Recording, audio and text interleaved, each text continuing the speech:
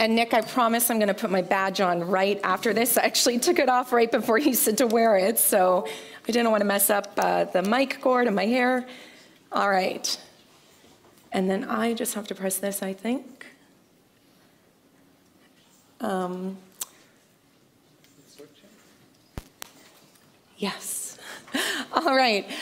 As Nick said, I am an entrepreneur, I'm a researcher, I'm an experience designer. And I was thinking if I could only choose one, I would say at the heart, I'm a researcher.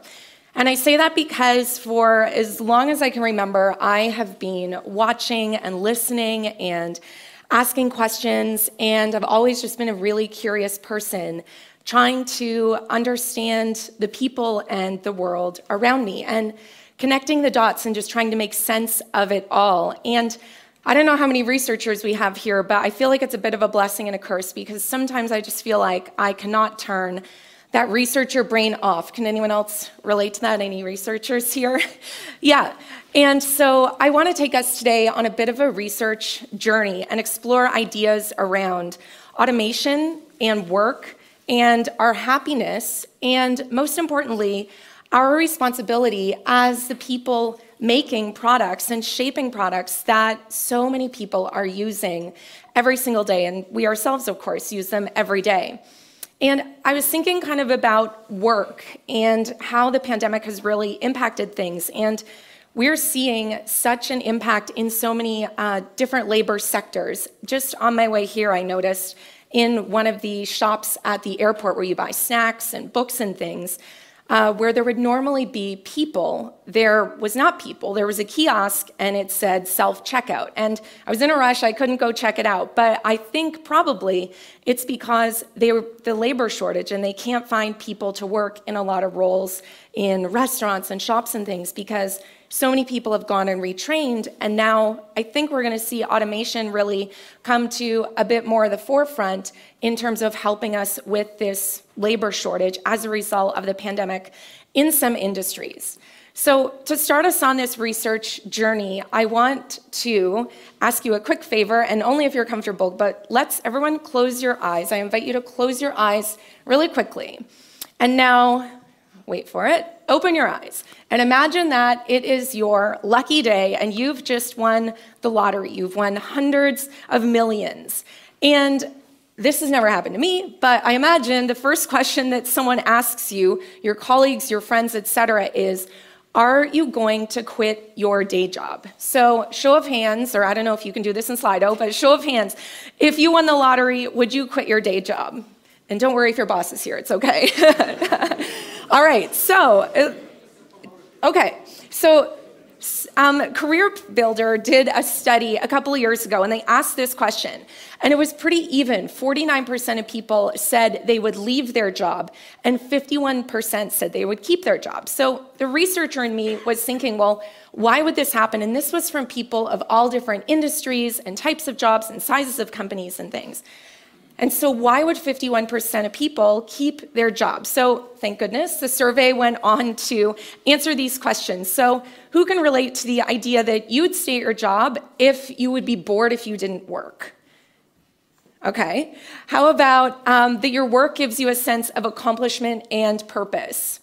Or maybe that you want that financial security in case something happens to your hundreds of millions of winnings and I don't know, your friends take all your money. Um, how about that you would miss your coworkers perhaps? Okay, I definitely would. the truth comes out. all right, so uh, kind of the takeaway for me was that work is really one of the many sources of fulfillment in our lives. Of course, it's just one of the sources because we as people, we crave connection, we crave challenge, we crave accomplishment, and work is really one of those things that can provide that for us. But a couple of years ago, I was just scrolling through social media and I noticed this hashtag called Smonday. And I thought, what is this all about? So after some little research on social media, I realized that Smonday is this hashtag people use on Sunday when that anxiety and nervousness of realizing, oh my goodness, tomorrow is Monday. I have to get back to my real life and maybe my coworkers I don't like and everything. And so they use this hashtag called Smonday. And it kind of struck me because it's a little bit opposite of what we just saw from that study.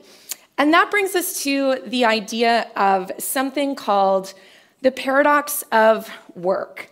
And a Hungarian American psychologist named Mihaly Csikszentmihalyi uh, was really involved in this and also had a lot to do with the concept of flow. And in the 80s, he was at the University of Chicago, and he and his colleagues did a study, and they wanted to look into how people spend their time at work and also when they're not working, and what their experience or quality of life is. So it was the 80s, so we didn't have iPhones and things like that to help us with these studies. So what they did was they developed their own research method, and it was called the experience sampling method, or you may have heard of things like diary studies. It's the same concept. So they recruited 400 people around Chicago from different industries, sizes of companies, et cetera. And then they wanted to kind of get a snapshot of what their life was like over the course of seven days. And to do this, they gave everyone a pager. So uh, remember pagers if you're old enough? so everyone had a pager.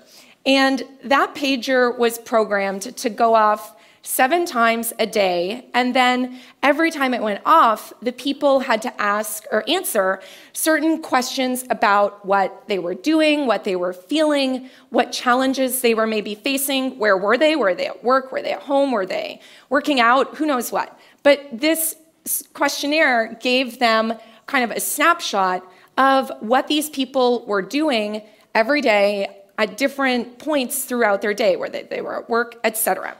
And so the big question is what did we find out? Based on this experience study, what was kind of that snapshot? And the survey concluded that people were happier and felt more fulfilled at work during their leisure hours. And that's where we really get to this idea of the paradox of work. And to dive into some of what this survey went on to talk about, and this is completely paraphrased, but just to make the point, the difference between what people said and what they felt. So, concerning their time at leisure, people said things like, I'm dreading going back to work. I wish I could just stay on vacation forever, right? All of those thoughts that maybe you've experienced. And then when it came to what they said about work, Everyone seemed to be counting the days and hours and minutes until they could get out of there, right? You probably had those days. I know I do as well. Um, I can't wait for my next vacation. So, this is what everyone said. But remember, that experience study was not just asking people, What are you doing? Where are you? It was asking them how they were feeling as well. And so, looking at what people said concerning how they felt, they said they felt things like they were tired or felt maybe anxious or not sure what to do them with themselves in their leisure time. And at work, they said they felt very um, accomplished, they felt focused, they felt energized, they felt um, challenged.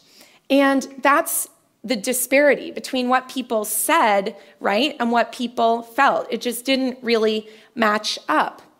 And that's really that paradox of work that we just talked about. And so one thing to keep in mind is that it's not really the job that necessarily makes us happy. It's the fact that our jobs or work gives us things that often we're not that great at doing for ourselves. And what I mean is that work really imposes things like structure and goals and consequences, right? If you don't do certain things in your job, maybe you won't have the job.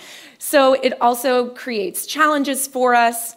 And if we're honest with ourselves, I think that not everyone is great at imposing these same things on ourselves in our free time and in our hobbies. It takes a lot of personal um, will to commit to a goal and then actually take the steps to make that goal happen, whether it's run a 10K or something like that. And so the point is that our jobs create an environment for flow. And by flow, I mean that moment when you are enthralled in a task and you are working on something and time kind of just pauses. For me, I feel like I know when I'm in a state of flow because if I'm working on something and I have music in the background, there will be that moment when I realize I have no idea what the last three songs are, or that there was even music playing to begin with. I'm sure maybe you have some analogy like that, right? Where maybe it's music or maybe it's something else, but you just tune everything out and you're so focused on that one thing. So the researcher me got really curious and I wanted to understand what is happening in our brain when we are in this state of flow. And this is where I need to introduce you to someone named Charles Limb. He is a surgeon and a musician, and he also is really involved in studying creativity and the brain. And he's at the University of California um, in San Francisco. He's still practicing. And I don't personally know him, but I know him because he did a TED Talk. So he did a great TED Talk, which I really recommend you check out. It's called Your Brain on Improv. Um, and what he wanted to understand is what happens to our brain when we are in the creative mode and improvising. So he and his colleagues designed a study, and they thought we're going to study jazz musicians as they are playing a keyboard. But to do this, they had to design a little miniature keyboard like that. Um, and it also had to make sure it's magnetically safe because they put the musicians inside an fMRI machine. And so you'll have to watch the TED Talk. I was nervous about the audio component of this, but it's really incredible. So they found some jazz musicians who agreed to like go in this fMRI machine and kind of have this keyboard resting on their legs, and then they had to lay really still and somehow still play like that. And then they monitored what was going on. And what they did was the jazz musician, musicians were asked to first play music that they memorized, so maybe Beethoven or Bach or something like that. And then they were asked to just riff and play and kind of go back and forth with Dr. Limb, who was in another room on another keyboard, and they were like jamming in this awkward way because this guy was in the machine. and what they found was that something in the brain of that musician in the fMRI machine was changing, and it was happening at the front of the brain. Now, to understand this a little bit more, and this is not atomically correct, but just for demonstration purposes here. So, at the front of the brain, there were these two areas that were having activity. The front of the brain, um, first of all, had this self monitoring component.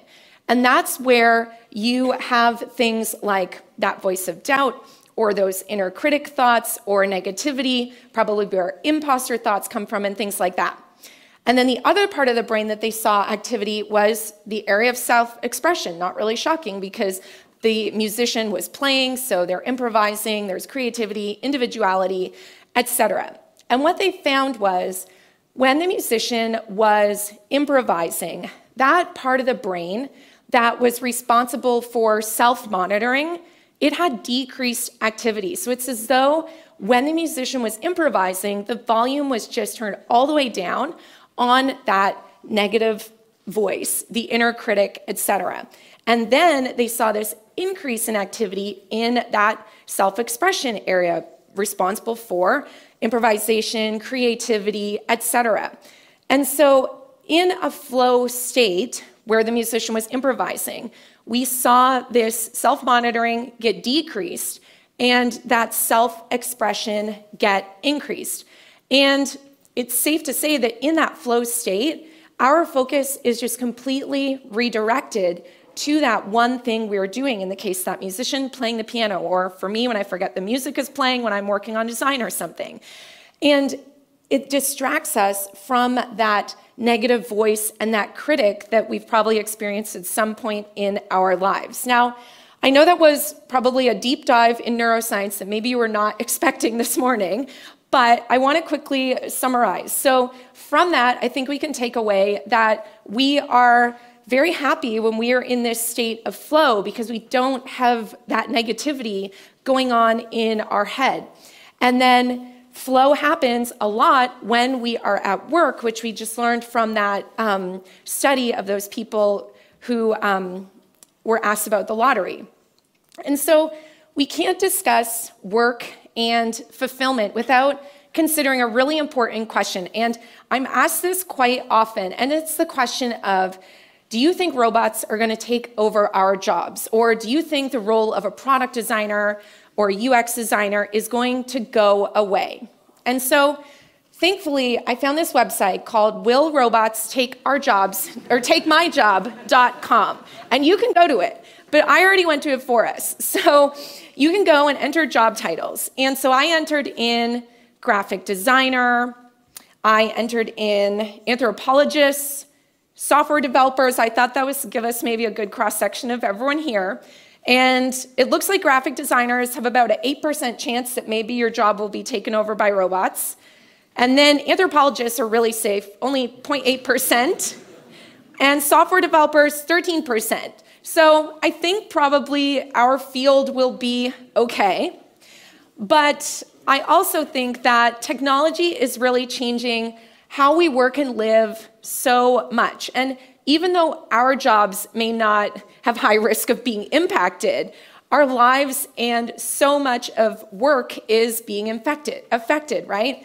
We have more instantaneous, more connected lives than ever before. And this is where I have a little bit of concern around what's going to happen to our overall sense of happiness and fulfillment and I would argue, potential as a society. And so there's two ideas that are really making our lives, I would argue, less human and more computed. And those ideas are around anticipatory design and automated design. And those are quite different. So to define anticipatory design, that's all about being able to try and predict people's needs or be a step ahead of them and be thinking or giving them what they need maybe before they're even thinking it. However, automated design takes it a little bit further in that it's not just being a step ahead of the person, it's actually taking the user a step ahead because you're literally making decisions on their behalf. So that's really the difference. And this idea of anticipatory design, I don't think it's necessarily anything really new, although it's trendy right now.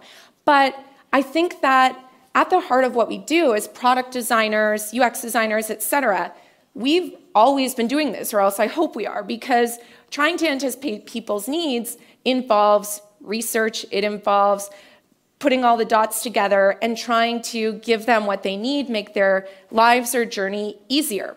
And so, this idea of anticipatory design, I don't think it's anything new because we see it in a lot of products and experiences that we all use quite often. So, there's kind of three examples of how I think products we're using are employing this concept of anticipatory design already.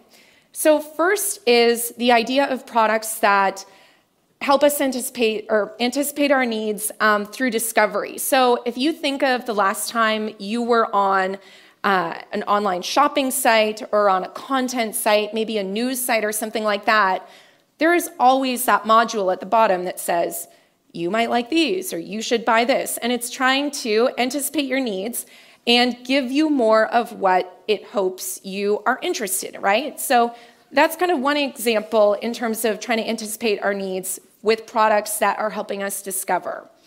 The next category of product that I think is using anticipatory design is this idea of products that help us take action. So if you think of um, calendar, for example, whatever calendar you use, but if you have a meeting, um, let's say right after lunch, the calendar system would also try to anticipate your needs and recommend to you hey, your meeting is at this time. You might want to leave now or take this train or tram because of construction, this, that, and the other, right? So they're trying to anticipate our needs and help us take more effective action toward our goals.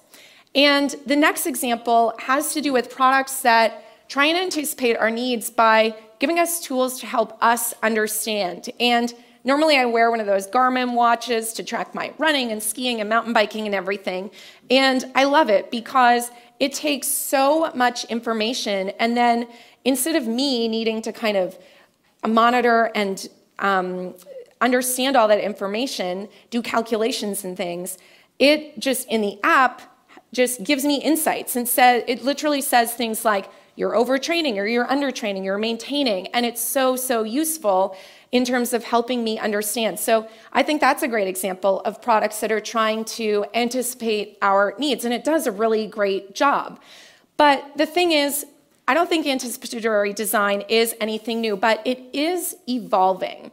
And this leads me to an article I found a few years ago called The Next Big Thing in Design is Less Choice. And this was written by Aaron Shapiro, who at the time was the CEO of Huge. And in this article, he said that in the future, design will sweat the small stuff. And he went on to say that life is not made easier by anticipatory design because we're still forced to make a decision. And I can totally see his point. Products don't always make our lives easier because they can often lead to a lot of overwhelm. And I think a couple of great examples here. First of all, Amazon. We have probably been online shopping in whatever store you shop on a lot more in the past year and a half than maybe we previously did. And I think it's a great example of how it's trying to anticipate my needs, but I'm still left with quite an overwhelming decision. If I were just to buy laundry soap, if I were to go into the store and do this, it would probably take me just a few minutes. I'm just in and out.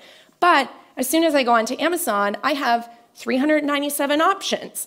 And so they're trying to anticipate my needs by calling out things like bestseller or down below on that page, it shows me things I've previously purchased or highest rated. And so, yes, it's a trying to anticipate my needs, but at the end of the day, I still am forced to make a decision. And I think depending on your personality, you might be on this page for 10 minutes or something.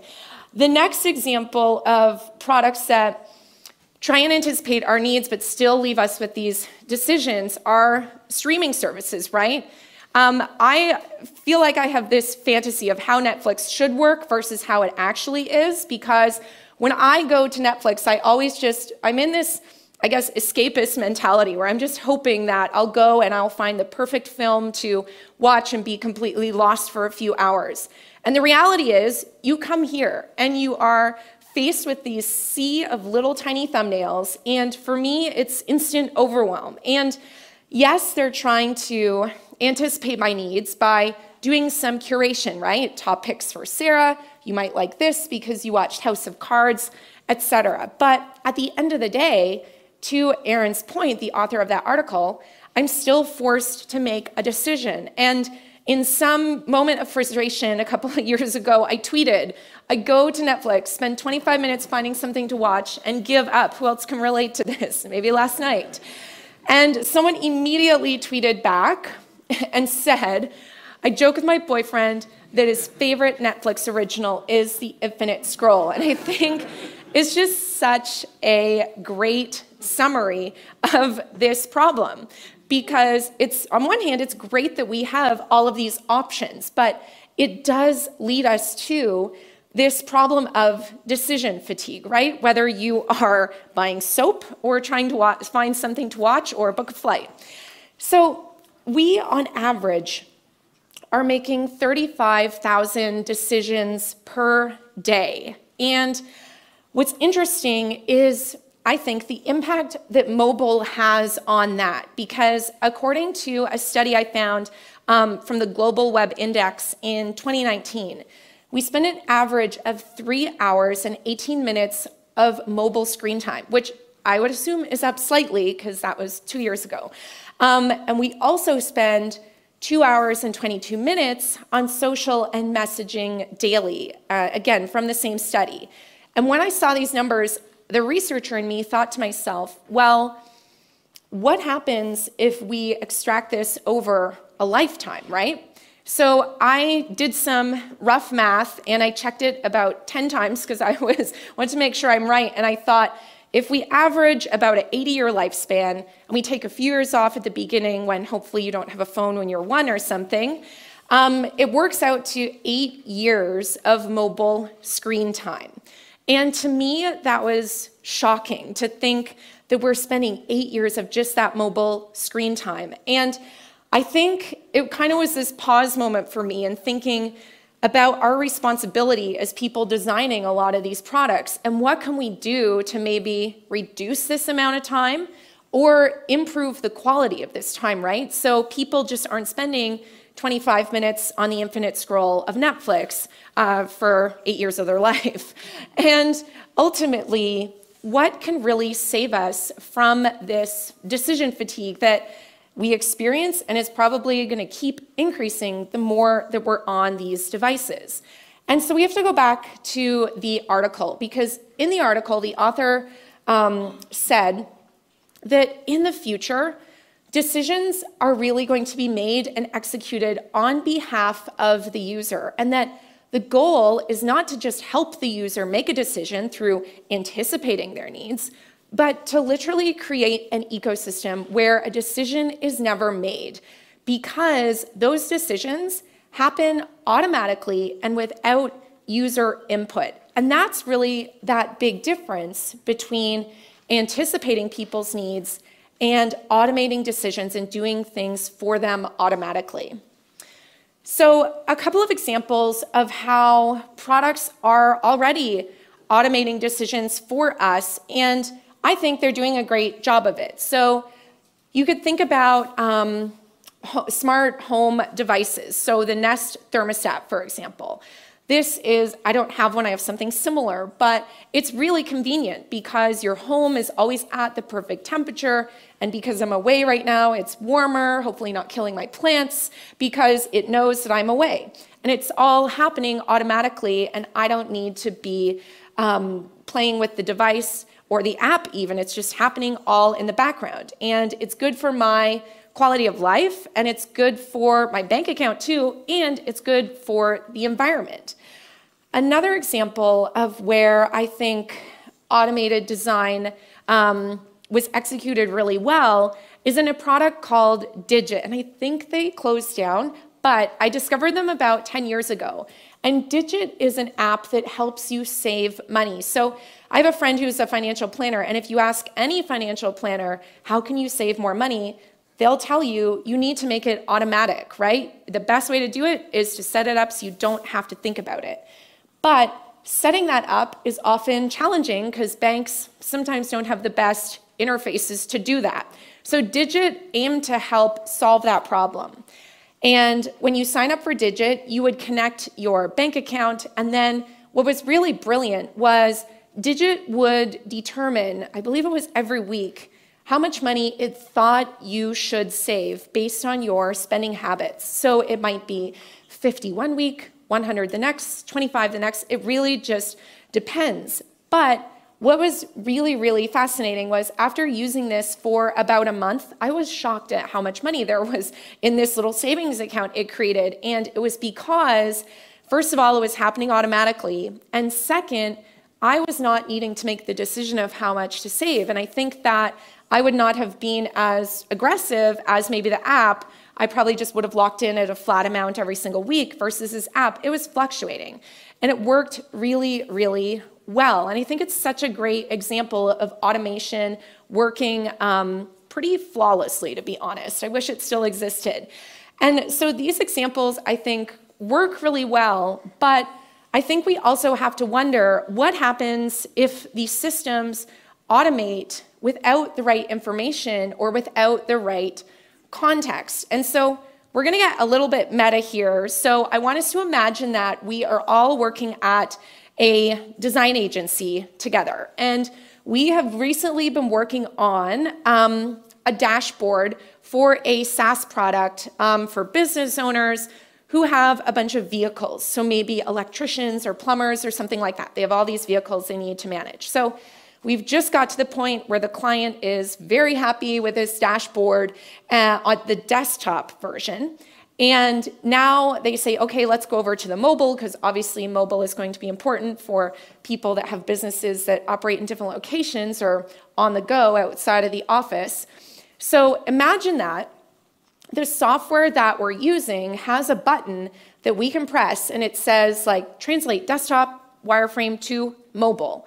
And wouldn't that be amazing? But the designer in me thinks that actually might be a disaster because not all of that information on that desktop wireframe is going to make sense for a mobile experience, right? You know, there's probably information and actions that don't, don't make sense for the person who might be using this on the go versus the manager sitting at a desk with a bigger screen, et cetera. And so we don't need to know the details of this, but for example, there's this kind of recent transactions section with multiple columns of detailed information about transactions and the person who made the transaction and the vehicle, et cetera. But if we had this button just turn into mobile, it would result in a really cluttered and I think not very useful interface. Same thing with the bottom of this wireframe where it's uh, giving us kind of a health update or health status of the vehicle fleet. And it might be determined that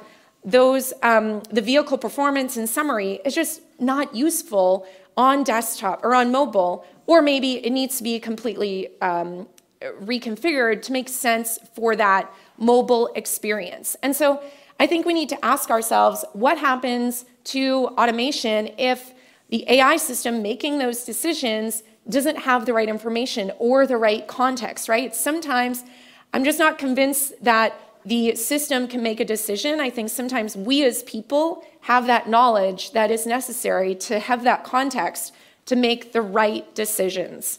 So I want to give us some cautions to think about as perhaps we are faced with opportunities to think about automation in the products that we are using and what some of the consequences of that might be.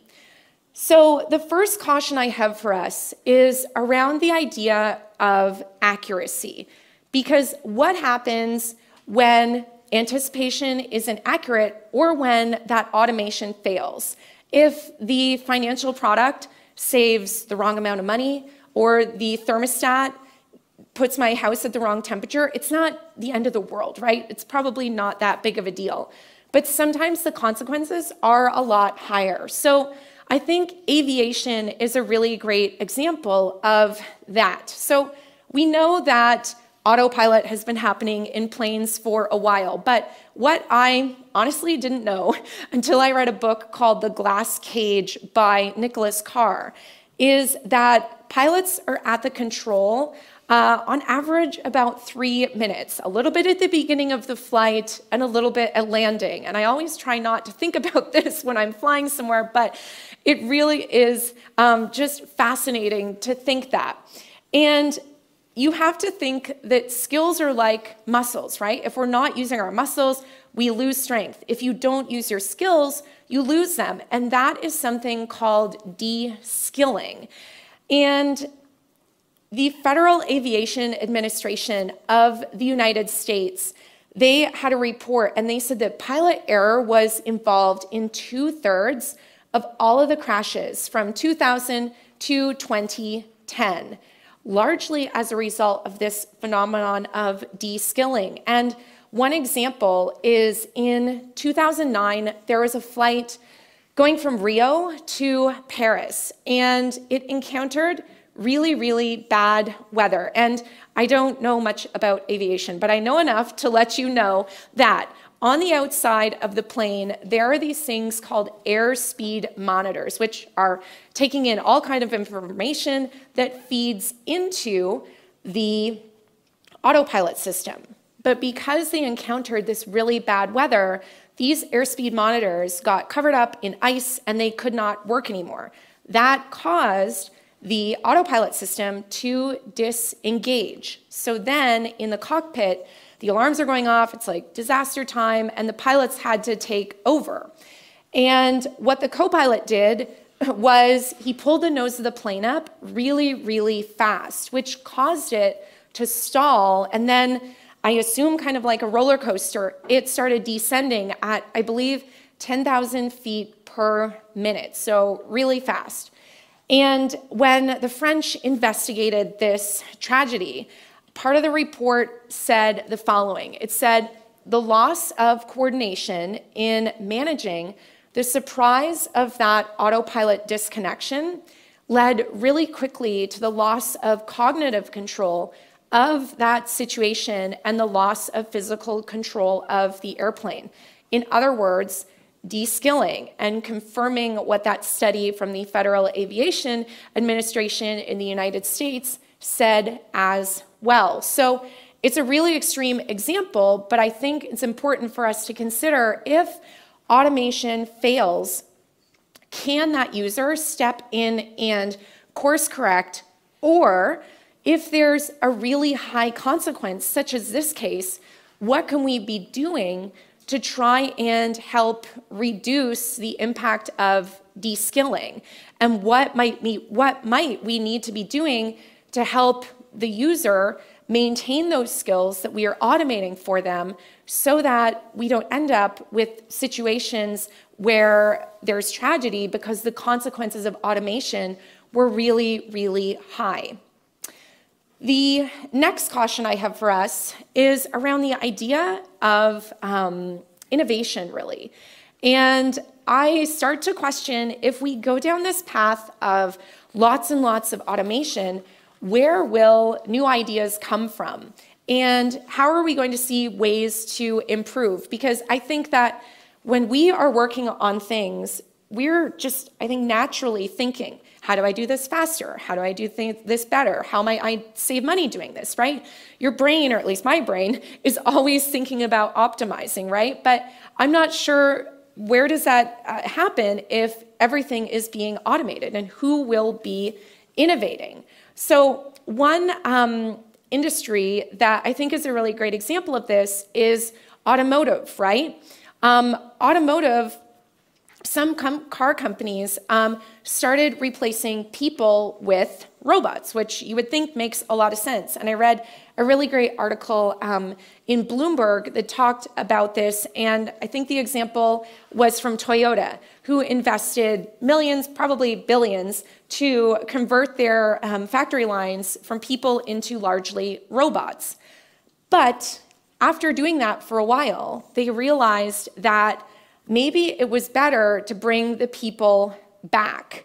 And the reason for it was partially because the people were able to do what I just said spot opportunities for improvement, etc. But what they also realized was that um, if they had to change the production line, it could often take weeks to reprogram all of those robots and also reposition them all over the production line. However, and of course, depending on the um, size of the change to the production line or the complexity of it, people could often make these changes in just a weekend rather than weeks. So, from that perspective, they kind of did a reverse and put a lot more people back in because they realized in going to a more automated system, they were losing that element of um, innovation. And I think um, opportunities for spotting improvements or maybe spotting problems as well. Um, so, a takeaway that I had is that I think machines are great at doing things over and over and over with great precision and things like that. But people, because we have that problem solving mentality and things, we can do things over and better. So, Think about what happens to innovation if we are automating every single thing.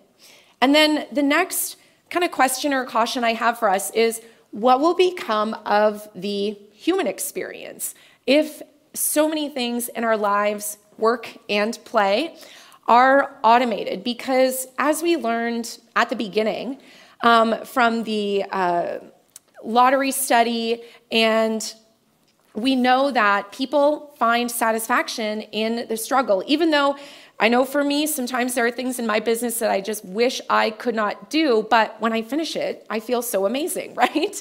So we find this satisfaction in the struggles, even though at the time maybe we don't see the um, excitement there. And we seek to overcome these things. So, what's going to happen if more and more is automated?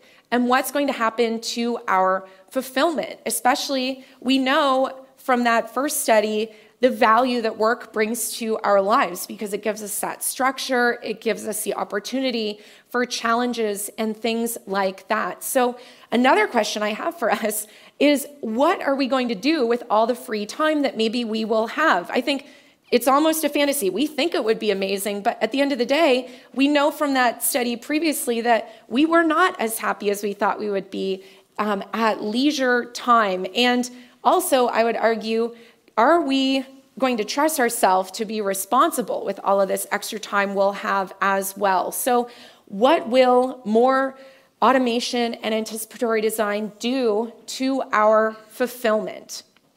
So, as we move forward, and you're probably going to be faced with decisions because maybe you think it's a cool opportunity to use automation in products you're working on, or you have stakeholders who think it's the next best thing and they tell you you have to do these things.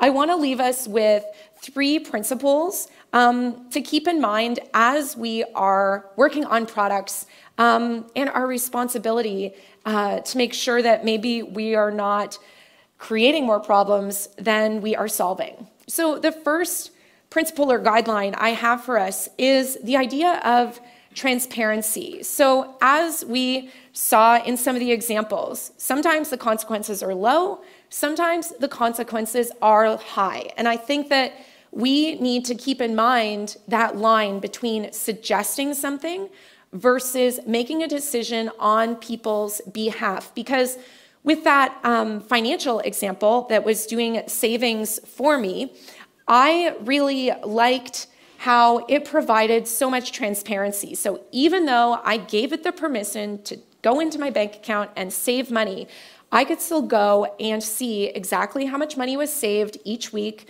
each transaction, when it was saved, and I could easily reverse course correct if I didn't like what it saved last week, or I could even do things like pause it because if I knew I had maybe a big expense coming up next month, maybe I'd want to skip three weeks. So that's what I mean by transparency and making sure that people can have that control to reverse things or step in and not um, have the automation maybe make decisions that don't have the proper context, such as I said, um, if I had a big expense coming up, how would it ever know that? It's only in my brain.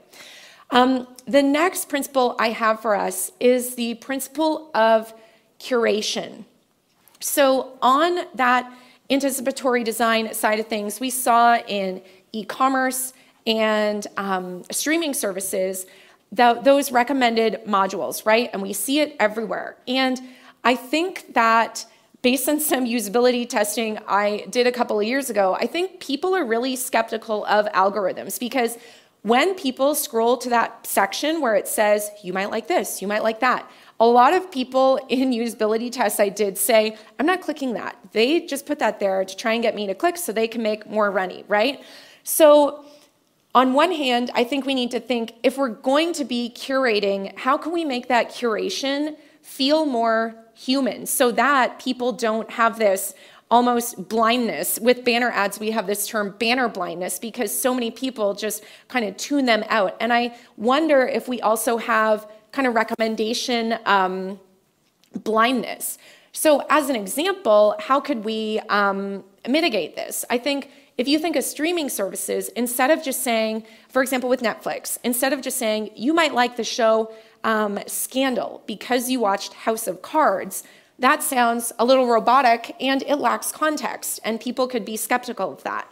So I think instead, what if we added context and said, you might like Scandal because you watched House of Cards, and by the way, they're both political dramas. They both take place in Washington, D.C., and this, that, and the other commonalities between the two. And I think that would be one way that we could help um, make that curation feel more human and less uh, like a computer just spit it out on the screen. Um, the third principle I have for us is the idea of trust, because obviously, if we are going to anticipate people's needs and make decisions on their behalf, privacy comes up. And we can only make decisions if we have quality information about the situation. So I think we need to consider if we're really going to start making more decisions on people's behalf, how can we earn their trust more? Because they're pretty skeptical to begin with. And I always have this principle in mind of give and take. And I say this all the time when I'm um, working with clients and stakeholders and colleagues. But as an example, a couple of years ago, I was working on a um, healthcare product and it was this healthcare insurance type product. And the beginning of the experience required us to ask the user a lot of personal questions about their health so we could recommend different um, health plans for them because we have health insurance in the United States and it's this whole giant interesting process. But part of the challenge with that was asking all of these personal questions. And so the principle of give and take was in this interface, we had all of these questions, but for every question we were asking, we were also on the screen explaining how we were going to use that information or literally showing them an example of why they should give us that information. So I think it's really important that we don't forget about the importance of that principle of trust because as I said, if we're going to anticipate people's needs and make decisions on their behalf, the quality of those decisions and the information we give them is so dependent on the quality of the information that we can get out of them. So transparency, curation, and trust, keep these in mind as you are faced to probably walk that line between just being a step ahead of someone and anticipating their needs or taking them a step ahead without them doing anything because you automated that decision. And I think it's really important to consider are we doing these things out of novelty or are we just doing this out of necessity? And to close, I want to share a really quick story. A couple of years ago, I was uh, landed in London. I was on my way to a conference and I got in the car and the driver said, Oh, what do you do? And I just vaguely said, Oh, I work in technology. And he went on this rant and he said, If I was the prime minister, I would shut down the use of technology. And the researcher in me was like, oh, say more. So he went on to say that the computer is a good invention, but it's not good for the public. And then he went on to tell me about how he has a couple of um, children and they're always on their phones and social media, and he does not like this. It's just not good in his opinion. And then he said his daughter was a pilot. And then I thought, this is really creepy because I was going to give a talk similar to this.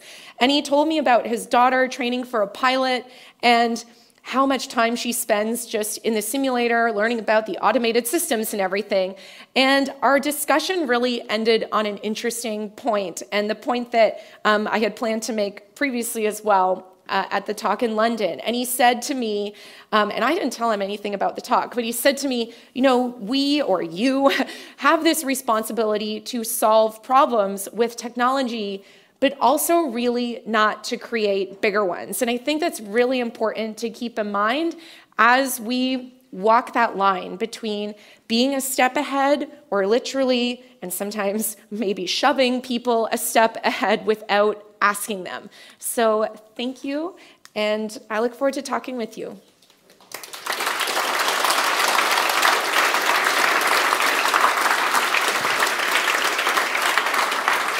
Hey. Oh, both. okay. Hi. Our magic trick of how I turn into Nick. Do you have the, do you have the iPad? Okay. Thank you very much, Sarah. That was that was great. Thank you. This is kind of you're kind of the guinea pig because we're using this. Is it working? That's a good question. I'm seeing a bunch of questions. Um, am I supposed to be seeing all of these? I just ask the most popular one, right? Who's in charge of this? okay, so feel like I'm on a first, game show. yeah, this is this is your quiz. Are you ready? Q and A. It stands for quiz and attack. First oh, quiz. Gosh. Without looking at your slide deck, can you name the first six thumbnails on your Netflix stream? Oh, goodness. Just kidding, that's not the question. Oh, oh my gosh. I was actually thinking, oh, what were they? Okay. That's, that's, that's my joke. Okay. Okay, so this, this uh, comes from Felix in Baton Rouge, Louisiana. okay. First time caller, long time listener. Uh, just, Are they really in Baton Rouge? No, I'm, I'm kidding. Oh. That- it just says I mean, I, know don't know where he is. He's I know probably we're in this room. streaming this, but okay. Felix is probably in this room right now. Uh, just got me thinking. If you have to spend lots of time in meetings during the day, you can never get in the flow. Does this make us less happy and fulfilled?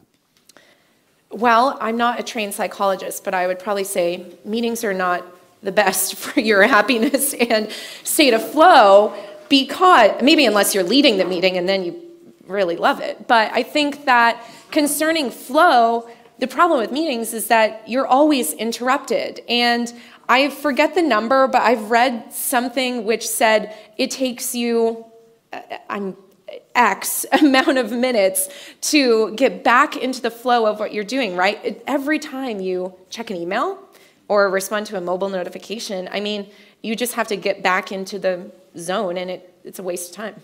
Yeah. And I think the Basecamp guys talk about this in one of their books. And you made me think um, there's a really great app. I have nothing to do with it, but it's called Flow. And it's kind of um, a Pomodoro timer type thing. But I love it because if you're one of those people who are tempted to check the email or do this and that and then break that flow, this has a timer for 25 minutes. And I mean, it instantly improves my um, productivity. Yeah. This is just a follow up of my own. Um, when I saw the, the graph about the, or the graphic about the vacation, Uh huh.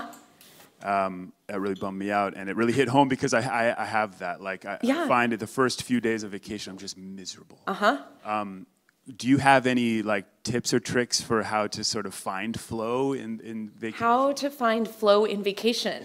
That's a great question because after this, I am spending a few days in Italy.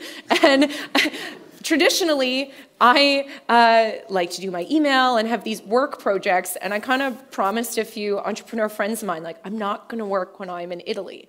So maybe we'll have to have a follow up tweet after this or something. But uh, you kind of need to have a plan. So I purchased literal actual books not on the screen so i'm not tempted to uh, go check my email.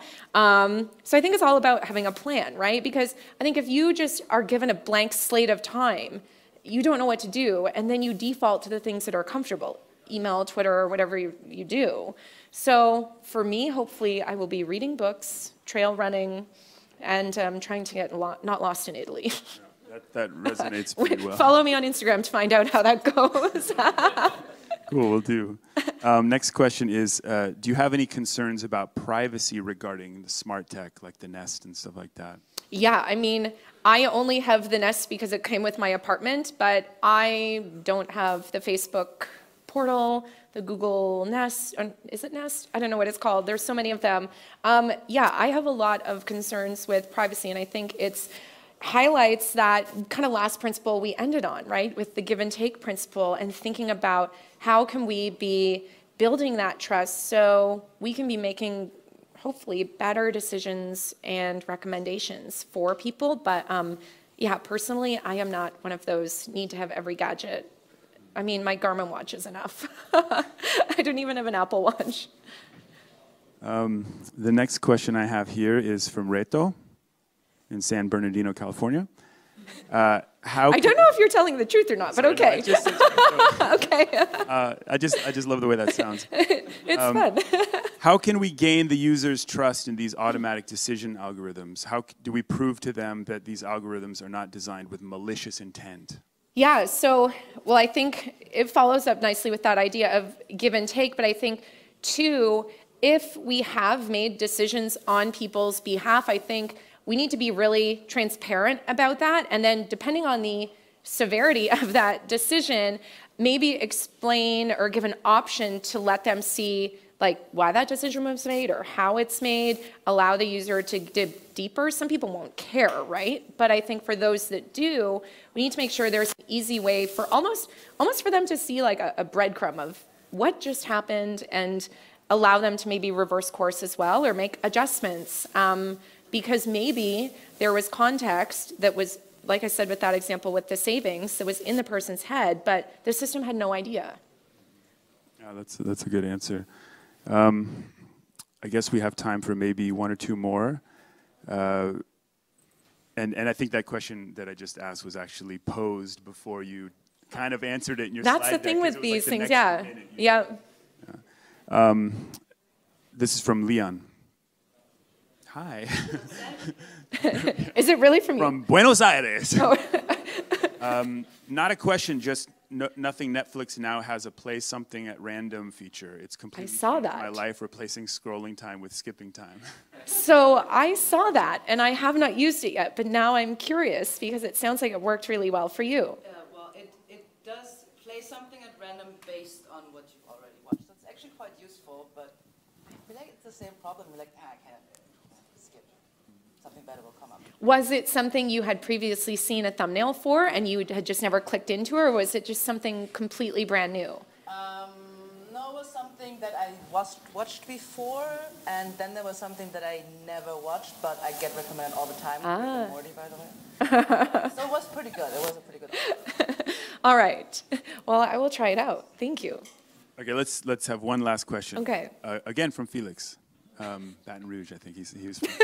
uh, algorithms versus curation. What could or should social media companies do to overcome confirmation bias and feedback loops? Wow, that's a big question. I think, I mean, I think they're starting to do some of this in terms of transparency around whether posts are um, deemed potentially false information or not. Um, I think getting out of um, what's called the filter bubble, and I'm forgetting the guy's name who did this. He might have written a Times article or a TED Talk or something. Anyway, Google filter bubble.